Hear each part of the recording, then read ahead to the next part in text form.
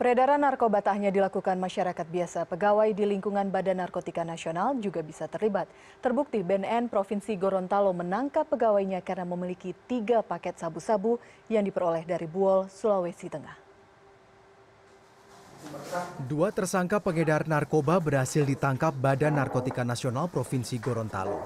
Mereka adalah BI alias Aco dan RD alias Onal, warga Desa Bakti, Pulubala, Gorontalo. Keduanya ditangkap saat menerima paket sabu-sabu dari Buol, Sulawesi Tengah. RD adalah pegawai honorer BNN Kota Gorontalo. Menurut pihak BNN, barang tersebut dipesan dari salah satu rekan RD di Buol. Barang haram itu dikirim lewat paket yang diselipkan dalam paket kunci motor. Pelaku diduga sebagai pengedar karena paket yang diterima berisi 6 gram sabu-sabu. Anggota atau pegawai saya sendiri, saya tidak pandang bulu.